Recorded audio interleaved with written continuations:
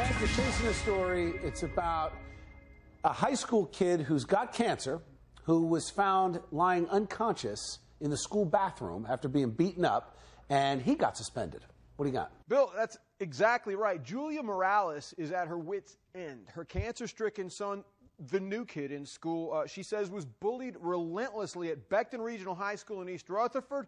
Administrators, she adds, didn't lift a finger. And, I, and that's when I told the principal, what do? Like, what kind of evidence do you want me to show? There's nobody coming forward for Julia says her son was called Cancer Boy and other names by tormentors and was finally found by a teacher on a school bathroom floor, having been badly beaten by another student. There's allegedly video, none of which has surfaced. Julia and her attorney, Pat Gesualdo, are backing their claims up with documentation, and they're calling for a system wide criminal and uh, civil rights investigation. Put a button on it if you can. How do you summarize uh, this whole thing, and what do you all want? Evil. I summarize it as evil and horrible against these kids, and she doesn't want money.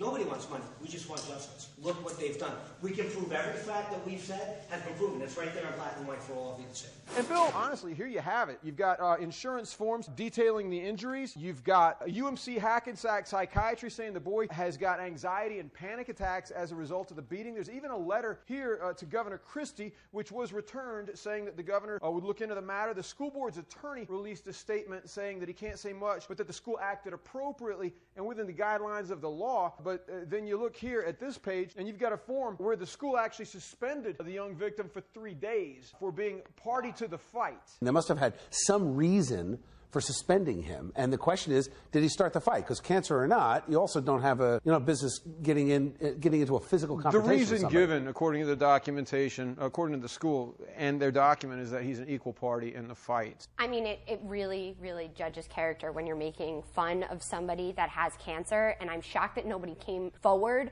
before this turned into a fight. If he really was being called Cancer Boy, I am so appalled. School, other students, the family didn't step in right then. That's that I think is what's most You know, it's a good point, Jillian. And Hank, it's also if, if somebody's picking on you like that and you're going through that and you you know, if the kid defended himself and he punched one of these punks in the mouth, eh, you know what? It's not the worst thing either.